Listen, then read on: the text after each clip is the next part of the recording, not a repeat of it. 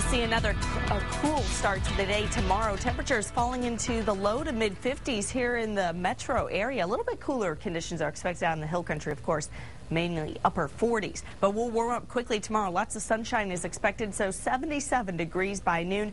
And by 5 p.m., with those clear skies, temperatures will top out similar to what we saw today. We'll see 86 degrees through the afternoon hours. Now, right now, it's already cool in some places, especially uh, Burnet, Fredericksburg, where we've fallen into the upper 50s there. It's already 54 in Georgetown, but uh, low 60s uh, persist in our eastern counties and places like Llano, Mason, and San Saba as well this evening. Right now, 62 degrees and clear Clear skies out at Camp Mabry, mostly clear. 54 out at the airport, always a little bit cooler out there. We have very calm wind conditions. That's one of the reasons why our temperatures are falling quickly. That combined with the clear skies, dry air in place, and that's why we're going to see another clear night tonight, or cool night tonight.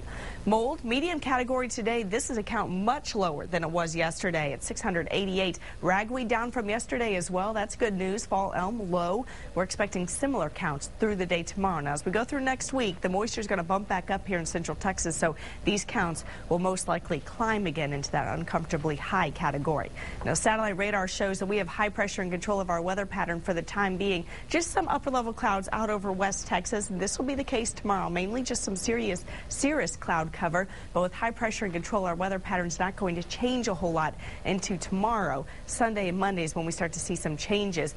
But the good news is that for our Longhorns on the road up to Lincoln tomorrow, they're going to see similar sky conditions as we're seeing here in Texas with high pressure and control there. Lots of sunshine. Temperatures, though, going to be a little bit cooler. By the time game or kickoff, 2.30 p.m., 71 degrees in Lincoln, and it will be breezy. Winds out of north-northwest, 10 to 20 miles an hour. The afternoon high will be right around 75 degrees. It's about 10 degrees below what we're expecting here in Texas. Now, our pattern's going to change a little bit as we go through the end of the weekend the ridge of high pressure will start to uh, move out to the east. We'll also see it flatten out a little bit. That means more moisture will work its way back into Texas and upper level low starts to form out to our west. This will bring us some rain chances as we go through uh, the first part of next week, starting on Tuesday, going all the way through Friday of next week. And with this kind of setup, we also see a lot of cloud cover. So you can expect mostly cloudy skies starting on Tuesday and going all the way through the end of your work week. Now tonight, things are going to stay clear, so it will be cool, especially in the hill country. We're talking mid to upper 40s out there. Not quite as chilly as it was last night, but still cool tomorrow morning.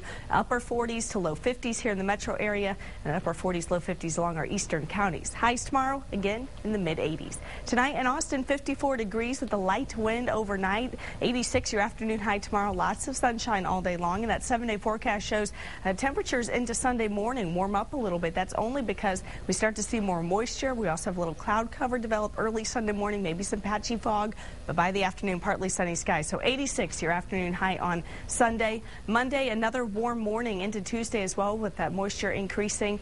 Our chance of rain starts on Tuesday. And with the cloud cover, those chances of rain, we'll see our afternoon high stay in the low 80s.